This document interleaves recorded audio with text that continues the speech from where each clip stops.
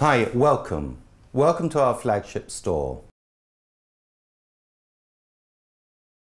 What's the biggest mistake? What's the biggest mistake we've made since starting Prestat? Well, I suppose one, I wish I'd started it earlier because I think we'd be that much further advanced.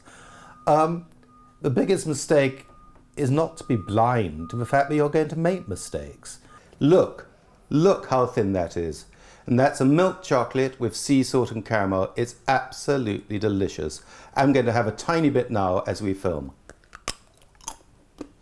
It's incredible. Um, in many ways, I think some of the excitement about being a slightly older CEO is that you're planning the end game.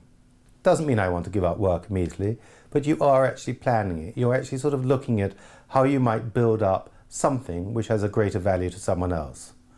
The other great advantage is probably by the time you're over 50, you have a fabulous network of people. You don't have that network until you're older, and you don't really have the credibility of that network until you're probably a little more mature and really recognize how you can utilize it. I actually find that actually getting older as getting really hacked off at being asked to pitch to people considerably younger than me who just sat there as agency people often do, just going, yes, yes, yes, fab idea, fab idea, but can you do it cheaper? We've got friends who can do it cheaper. And I just started taking the view, yes, you can do it cheaper, but don't ask me to do it. Because everyone can pick up a phone and say, ooh, I can make a film. Well, why in your late, in your mid 50s, um, um, try and compete with that? I wanted something which, in that sort of strange way, could make money for you when you were asleep. So, here was a chocolate shop I looked at this shop and I thought, yes, this is one of England's oldest chocolate companies. It's about to go bust, has one shop, but it is a brand with a great brand story. And that was the opportunity I saw.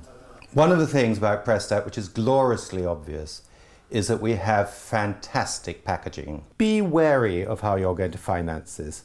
Don't start putting a huge amount of strain on your family, on your kids, just at the moment when you're probably still writing out large checks to support your family. Balance it out. Just work out how to finance it.